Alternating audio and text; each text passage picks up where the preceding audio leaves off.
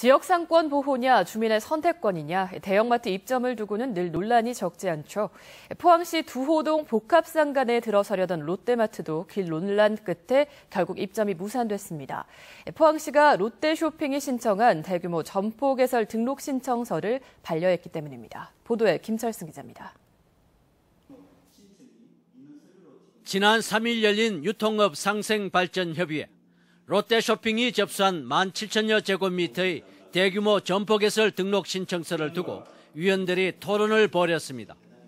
골목 상권 피해와 소비자 선택권을 두고 의견을 교환한 뒤 위원 9명 가운데 7명이 점포 등록을 해줘선 안 된다는 의견서를 냈습니다.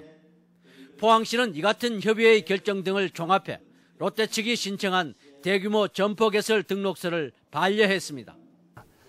소비자의 선택권보다 전통시장을 더 보호해야 된다는 어, 위원회의 결정에 따라 오늘 최종 등록 반려 결정을 내리게 되었습니다. 대형 마트가 입점할 수 없게 된 결정적인 배경은 꼭 필요한 지역협력 계획서, 즉 죽도시장과 중앙상가 상인회 등 세계 상인회와 합의를 하지 못했기 때문입니다. 상인들의 어려운 사항들이 어, 여러 채널을 잘 반영돼서 좋은 결과로 어, 나온 것에 대해서 대단히 감사하게 생각합니다. 복합 상가에 들어선 호텔은 7, 80% 투숙률을 보이면서 운영될 것으로 보이지만 시행사인 STS 개발은 채권단의 결정을 따르겠다는 입장입니다.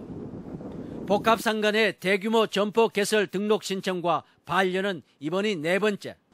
사업자가 계획을 수정해 다시 신청을 할 수 있는 여지는 있지만 점포 개설은 사실상 쉽지 않게 됐습니다.